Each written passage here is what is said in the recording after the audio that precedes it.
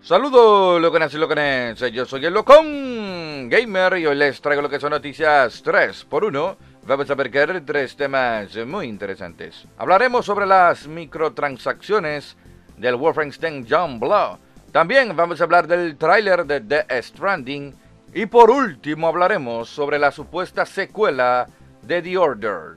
Pues bien, dejando todo claro, vamos mambo, mm, vamos ahí.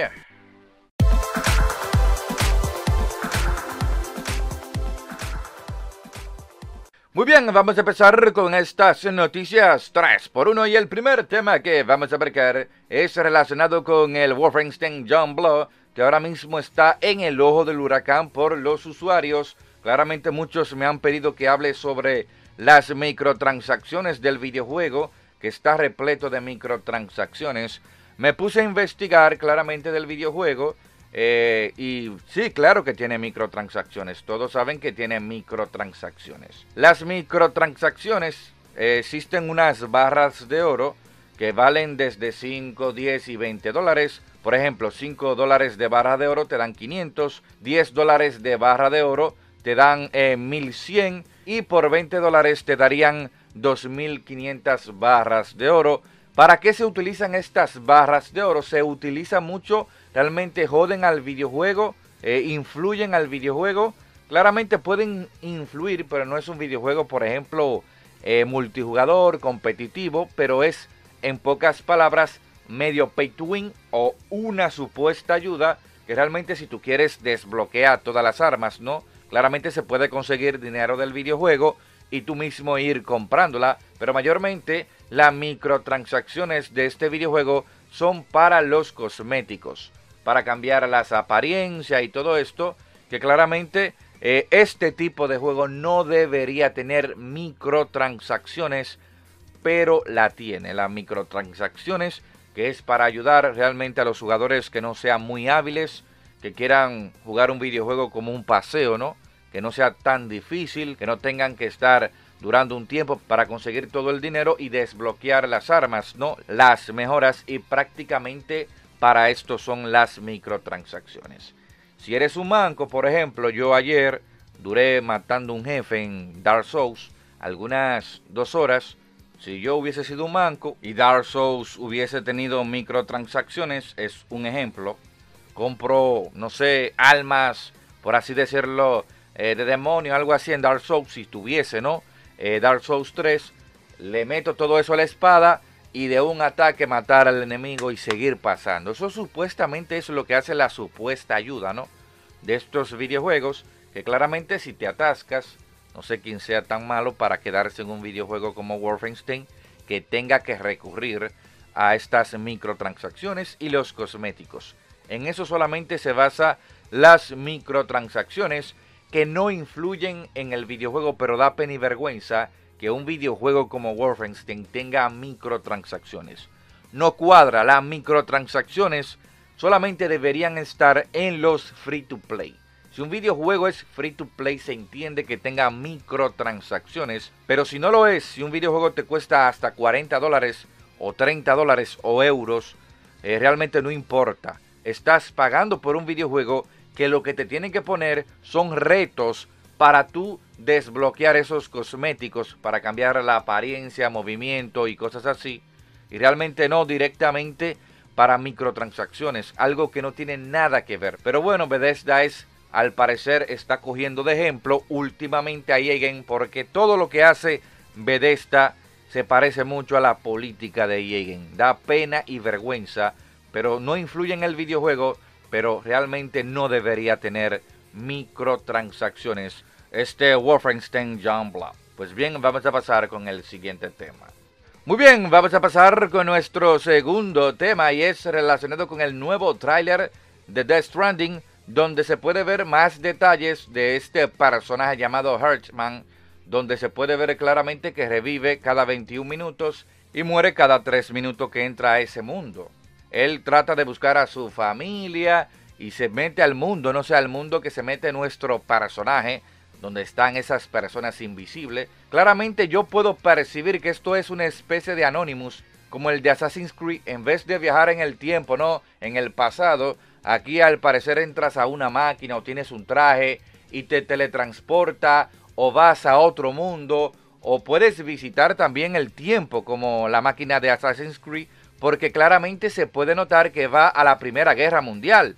Entonces que aquí veo un parecido con lo que se pudo ver, ¿no? Y la información que hay sobre este personaje que claramente es lo que me da a entender que hay una especie de máquina que te transporta a ese mundo que todavía no se sabe mucho, ¿no? Y se empieza a entender un poco porque hemos visto que hay laboratorios, hay como una base militar y uno empieza a entender un poco de qué va este Death Stranding, pero bueno, todavía no han enseñado lo más importante del videojuego, que tiene que ser algo esencial y estamos hablando de la jugabilidad que a día de hoy no ha habido un gameplay. No sé si Sony tiene un state of play para este videojuego para enseñarlo, no sé, el próximo mes o no sé cuándo.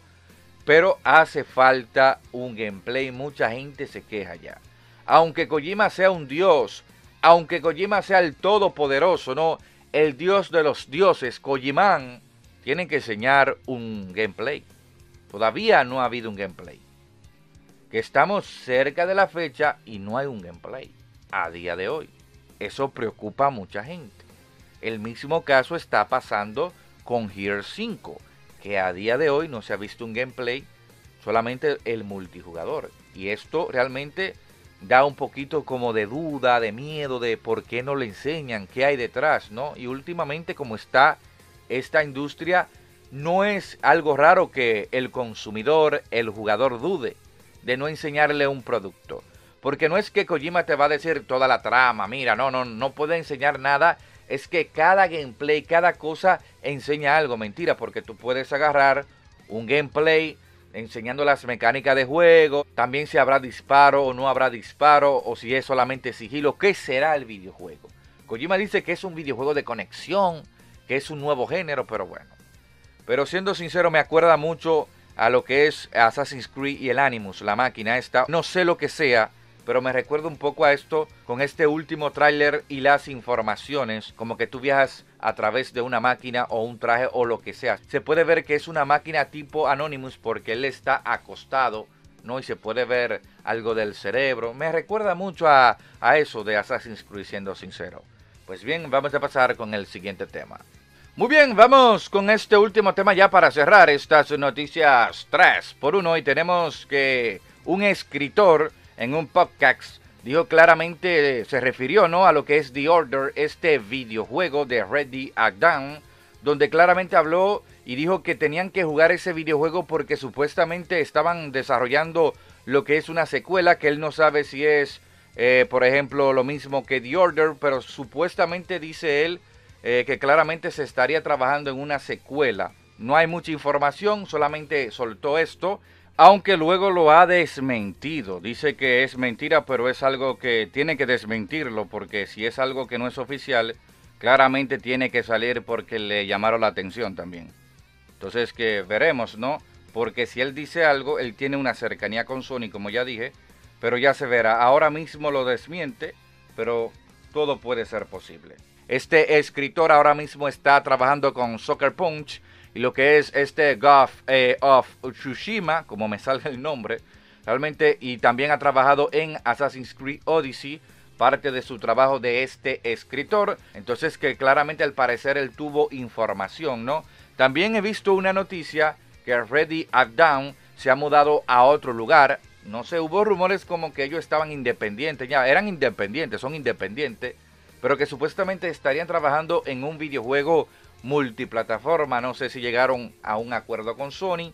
Sony le dio un dinero bueno, aunque The Order no fue un gran videojuego, en un sentido para muchos dejó mucho que desear, pero sí recaudó dinero. Creo que hizo casi alrededor de 3 millones, que está bien, ¿no? El problema del videojuego, lo que mucha gente critica, que es un videojuego que abusa mucho de las cinemáticas, abusa mucho de lo que es el Quick Time Event, que realmente es, bueno, estos videojuegos que te ponen a darle un botón en medio de una cinemática.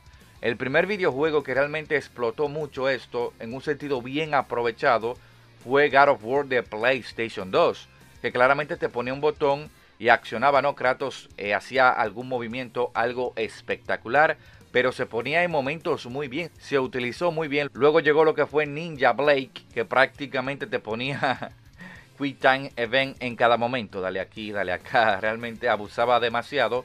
Y este The Order también se le criticó por lo mismo, que abusaba mucho de la cinemática y de los Quick Time Event, que claramente abusó bastante según la gran mayoría que dice esto. Pero bueno, veremos cómo sería. Tienen mucho para mejorar. Tienen que ser más un videojuego tipo Gears. Creo que tienen que tomar referencia de allí, hacerlo eh, más exquisito en cuanto a gameplay, no poner tanta cinemática, sino aprovechar ese tipo de jugabilidad y realmente eh, pulirla más, ¿no? Porque realmente la jugabilidad de The Order no era tan mala, sí que claramente tenía que aprovechar lo que eran los enemigos más inteligentes, más cosas, eh, los escenarios, eh, bien para lo que es este tipo de juego. Claramente por eso digo que tiene que tomar de referencia a Gears of War, que claramente es un videojuego donde te cubres mucho, usas las coberturas. Pero bueno, ya veremos, eso es lo que dice este escritor, que habla de una secuela que tienen que jugar este The Order, porque al parecer viene algo más de Ready a Down y que como ya dije, esta se ha mudado, que nadie sabe lo que pueda pasar. Aunque luego haya desmentido lo que dijo, no, pero ya lo dijo. Si lo dijo fue por algo. Luego lo desmintió, ya saben, por la presión que se le hace. Pues bien, hemos terminado con estas noticias 3 por 1. Quiero que me escriba ahí en los comentarios cualquiera de los tres temas, el que más le gustó. Lo de Death Stranding, también lo del videojuego Warframe John Blood. Y sobre este videojuego, ¿cree usted que Red Dead Down o Sony harían una segunda entrega de The Order? Me lo escribe ahí en los comentarios. Si te gusta mi canal, si te gusta mi contenido, te invito a que te suscribas. Yo soy el Gamer, digo hasta luego, me quité a que a loquear por ahí. Hasta la próxima, Locones. Mm, bye.